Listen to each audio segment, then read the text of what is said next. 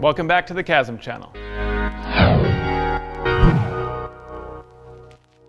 James here. So in last week's tutorial, we showed you how to use the SQL panel in WinCC OA. Sean, what do you have for us this week? This week we've got a short one. We're just going to check out the web viewer inside of WinCC OA. Okay, the web viewer. When would a user need that? To give you a use case, we've got an aerospace customer. They embed an internal web page that they can look at materials and then see when parts are going to be available for the certain product that they're producing at the given moment.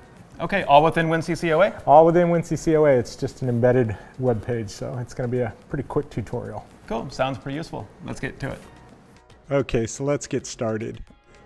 For the basis of all of these tutorials, we typically use the Getting Started project that's delivered with your installation.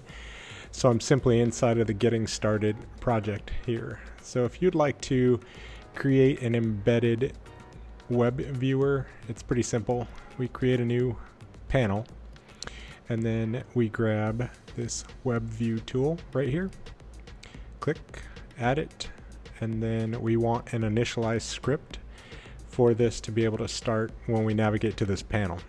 So I'm simply going to open this, type this dot URL,